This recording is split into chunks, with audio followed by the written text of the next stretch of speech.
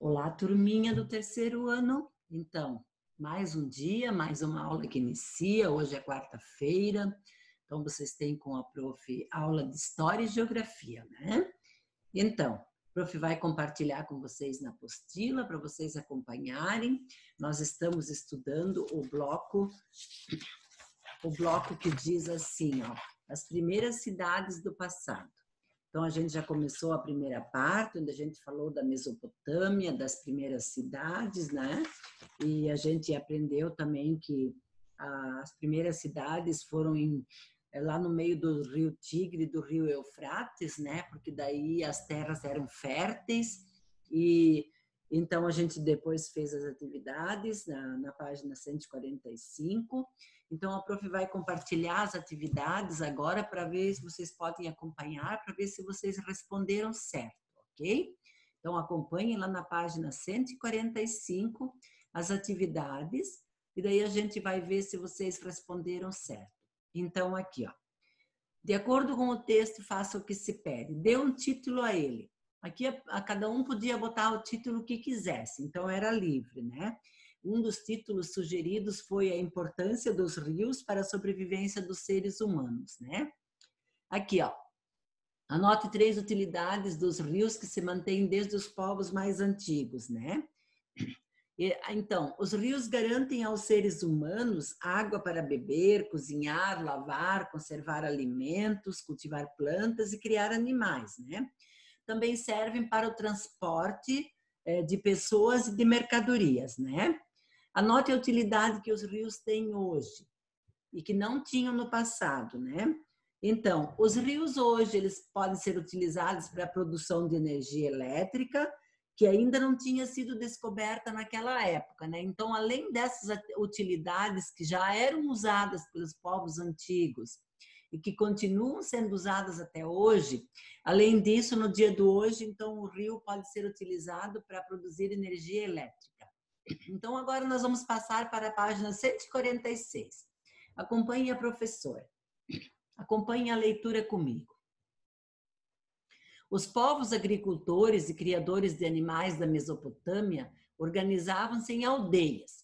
Nesse espaço eles moravam, construíam seus instrumentos de trabalho, cultivavam alimentos, cuidavam dos animais, faziam orações para seus deuses e tinham as próprias regras de convivência. Ali, as decisões eram tomadas pelos chefes das famílias, que também garantiam a segurança de toda a população. Então, esse aqui é um desenho de como era uma aldeia nas primeiras cidades da Mesopotâmia, né? Tem o rio aqui, que a gente ouviu falar deles já. Então, a maneira como eles viviam. Eles viviam só de agricultura. Criavam animais, plantavam, né? Só que eles também tinham regras de convivência dentro desse grupo aqui, né? Não era assim que cada um podia fazer o que queria. Os chefes das famílias se reuniam e tomavam as decisões para garantir a segurança de todos, né? Então, assim que surgiram as primeiras aldeias, as mini-cidades, as primeiras mini-cidades daquela época. Então, vários instrumentos de trabalho foram criados ou aperfeiçoados. Veja alguns deles. Então, esses instrumentos de trabalho aqui são bem primitivos, são daquela época, né? Com a foice de madeira e pedra talhada, era possível colher em poucas horas grão para alimentar a família inteira. Né? Então, eles pegavam madeira, né, pedaços de pedra que corta, e faziam uma foice, que hoje é feita de ferro, né? Com uma pedra retangular como base, a ajuda de uma pedra achatada chamada mó, era possível moer grandes punhados de grãos de uma só vez e produzir muita farinha para fazer pães. Assim foi inventada a moenda, né? Por isso que vem da palavra mó. Né? Então eles aqui eles batiam e esmagavam os grãos, separavam da casca para fazer a farinha para fazer o pão.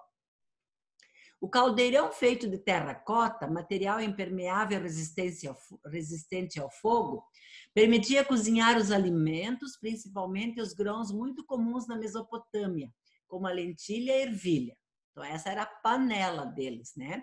Era feito fogo aqui embaixo, era pendurada e ali eram, eram cozidas as, os alimentos deles daquela época. Machados feitos de pedra facilitavam o corte da madeira e a construção das moradias. Então, eles derrubavam a árvore com machados assim, eles aplainavam a madeira, né, para construir as suas casas.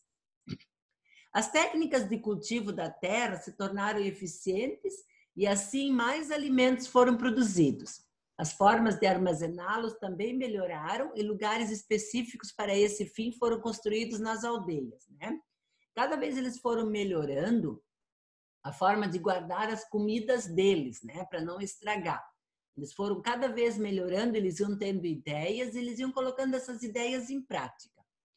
Com tantas transformações, os aldeões passaram a viver melhor, começaram a produzir mais do que o necessário para a sua sobrevivência, ou seja, começou a haver excedente de alimento. A palavra excedente significa sobra. Aí, como eles começaram a produzir muito, eles não conseguiam comer tudo que eles produziam, começou a sobrar comida. Foi nessa época que surgiram as trocas de produtos excedentes entre aldeias. Como é que acontecia? Aqui tem uma aldeia, aqui tem outra. Vocês vejam que aqui eles produziam um tipo de alimento, aqui outro. Então eles trocavam. Ele dava para ele um saco desse alimento e ele dava para ele um saco desse alimento. Então cada um tinha mais de uma qualidade de alimento, né? Então eram chamados de trocas. Naquele tempo não tinha supermercado, loja, né? Então eram feitas as trocas entre eles mesmos. Esse era o negócio que eles faziam o surgimento das cidades. Você percebeu quantas mudanças ocorrem nas aldeias? Associado a todas elas, houve ainda mais um fator, o aumento da população. Isso ocorreu porque, com maior produção e melhor conservação dos alimentos, as pessoas ficaram mais saudáveis. O número de famílias cresceu, novas casas foram construídas e outras necessidades apareceram, como a criação de novas estratégias de segurança para a população, de divisão e organização de trabalho, das regras e do, do poder. Então, a população crescendo, começou a surgir problemas também, né? Então, eles tinham que cuidar mais da segurança para não serem invadidos, né? roubados, cuidar da população cuidar da divisão do trabalho, da organização do trabalho, das regras de convivência e de quem mandava lá, de quem tinha o poder, né? As aldeias, portanto, foram crescendo e se modificando, transformando-se pouco a pouco nas primeiras cidades da Mesopotâmia. Então, de aldeias, pequenas aldeias, passaram a ser cidades pelo número grande número de habitantes. É importante saber, porém, que nem todas as cidades daquela época estavam organizadas exatamente da mesma forma. Apesar das semelhanças, elas tinham também muitas diferenças que podem ser descobertas se estudarmos a história particular de cada uma delas, né? Então, conforme a cultura do povo, conforme a maneira que eles agiam, é, a, a, maneira de conviver era diferente de uma aldeia para outra certo? Cada um tinha suas regras diferentes. Depois de ter ouvido esse texto, de ter acompanhado a professora, que é importante que vocês sempre acompanhem os textos com bastante atenção, gente, tá? Porque eles são importantes para saber fazer as atividades, né? Não é assim passar por cima e correr lá fazer, tá? Tem que acompanhar. Então, agora nós vamos partir para as atividades, ok? Atividade 2. Assinale somente os elementos relacionados a transformações que levaram as cidades, as aldeias a se tornarem cidades. Quais foram os elementos de transformação que levaram as aldeias a, a se tornarem cidades? Vocês vão assinalar só aqueles que vocês acham que estão corretos. Surgimento de um rei, aperfeiçoamento dos instrumentos de trabalho, aumento do número de casas construídas, crescimento do número de famílias, surgimento de militares, surgimento de produção excedente. Lembra lá o que é excedente, né?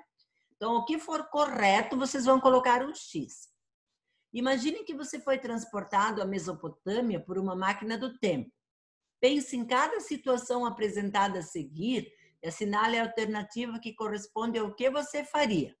Então, imagine que você foi transportado para a Mesopotâmia por uma máquina do tempo. Pense em cada situação apresentada a seguir e assinale a alternativa que corresponde ao que você faria.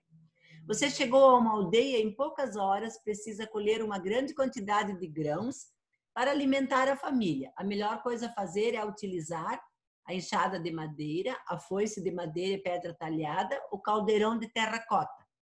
O que que você precisa fazer para colher uma grande quantidade de grãos? Não é plantar, é colher, tá? Uma dessas três opções. B. Você descobriu que a produção de excedente na aldeia é necessário saber o que fazer com ele. Quem você deve consultar para de decidir? O chefe de família, o rei, todos os moradores da aldeia. Tá? O que que você tem muito ah, muita produção sobrando. Sobre, sobre o que fazer com excedente de produção, qual foi a decisão tomada? Jogar fora, distribuir para os pobres, trocar com outras aldeias. Qual foi a decisão que tomaram? Jogar fora, distribuir para os pobres, trocar por outras aldeias, certo? Então vocês podem ler ainda esse aqui o que você sabia, né?